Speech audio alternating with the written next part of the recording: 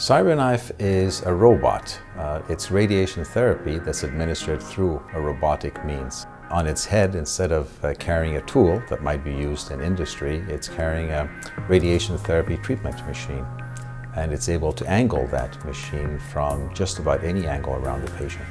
CyberKnife is literally a robot that moves in multiple different positions and what it will do is move with the patient. So if a patient should cough or breathe, the CyberKnife unit will rotate and move with the patient, which is not something most radiation therapy units do. So we can see already that it gives much more precise treatments for our patients.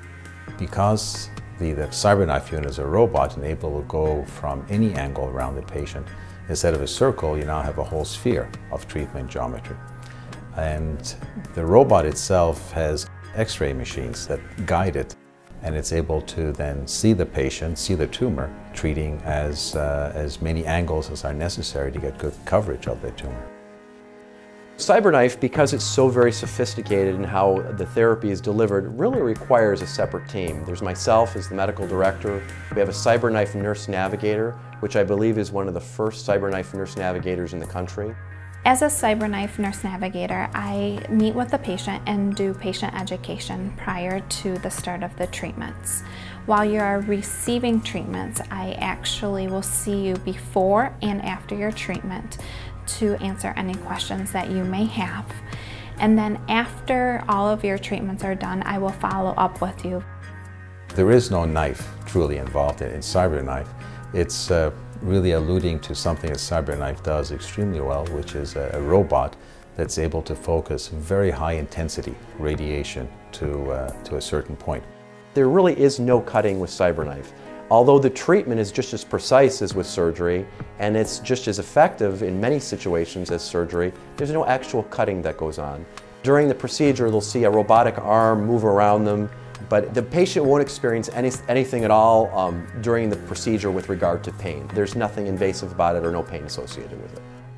The patients, of course, love the fact that the number of treatments are much less.